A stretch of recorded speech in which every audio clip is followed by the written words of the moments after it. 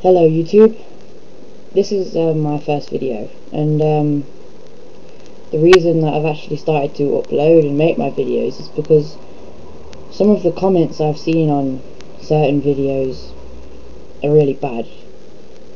Not even really bad, they're just terrible, they don't even need to be there.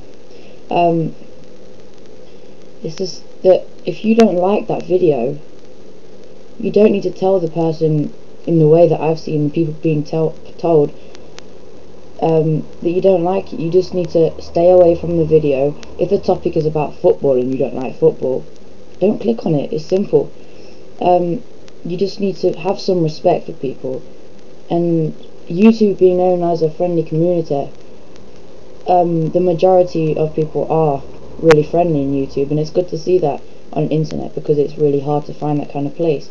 But the people that are letting its record down as a nice place, they're just not needed there. And I think it's not really the topic about YouTube staff needing to be more strict. It just it's the community that needs to tone it down a little bit.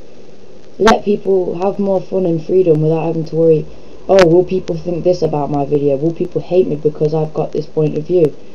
You just need to think about the fact that it's somebody else's video, somebody else's topic of their choice that they want. I mean, no doubt I'm going to get some bad comments because of my point of views on this topic, and just other things that are also just completely off this topic, which I also see a lot.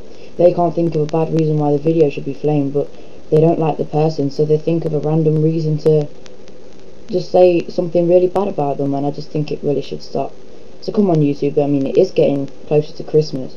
I mean, what better reason to rejoice and just become friendly? I mean, the ones that can't actually adapt to the fact that they need to be nicer, they just don't deserve a place on the YouTube members list.